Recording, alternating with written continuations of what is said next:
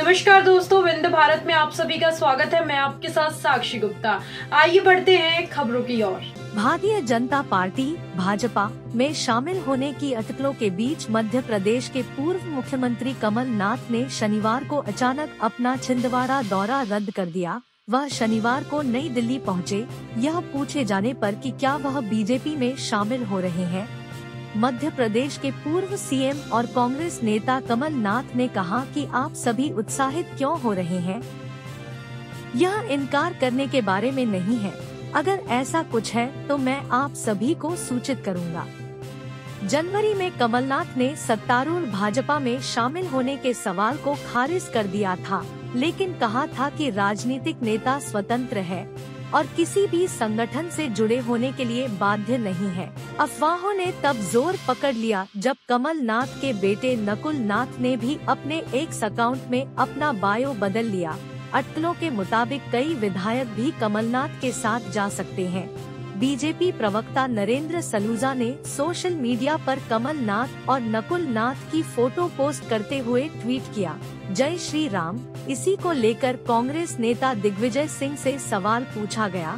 दिग्विजय सिंह ने कहा कि कल रात मेरी कमल नाथ जी से बातचीत हुई, वह छिंदवाड़ा में है। दिग्विजय सिंह ने आगे कहा कि ये वो शख्स है जिन्होंने अपना राजनीतिक करियर नेहरू गांधी परिवार से शुरू किया था। आप उस शख्स से ये उम्मीद नहीं कर सकते कि वो सोनिया गांधी और इंदिरा गांधी के परिवार को छोड़ देगा। वी डी शर्मा से जब कमलनाथ के बीजेपी में शामिल होने की अटकलों के बारे में पूछा गया था तो उन्होंने कहा था कि कांग्रेस ने राम मंदिर प्राण प्रतिष्ठा के निमंत्रण को खारिज कर दिया है।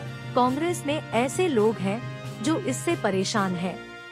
कांग्रेस भगवान राम का अपमान करती है और कांग्रेस में ऐसे लोग हैं जो इससे दुखी हैं और हमें लगता है कि उन्हें मौका मिलना चाहिए। उन्होंने आगे कहा कि अगर आप जिनका नाम ले रहे हैं कमलनाथ को भी पीड़ा है तो उसका भी स्वागत अरे है। भैया आप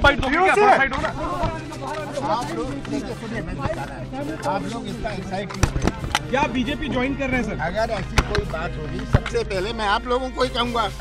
आदि आप इनकार नहीं कर रहे। सर आप इनकार नहीं कर मैं रहे तो कह रहा हूँ इनकार की बात नहीं है। जी जी। ये आप लोग कह रहे हैं। जी। आप लोग एक्साइट हो रहे हैं। मैंने कहा मैं तो एक्साइट नहीं हूँ इस तरफ़ या उस तरफ़। पर बात ये है कि अगर ऐसी कोई बात होगी अगर ऐसी कोई बात होगी मैं आप सबको सबसे पहले खबर करूँगा। उन्नीस तारीख को आप बीजेपी ज्वाइन कर रहे हैं सर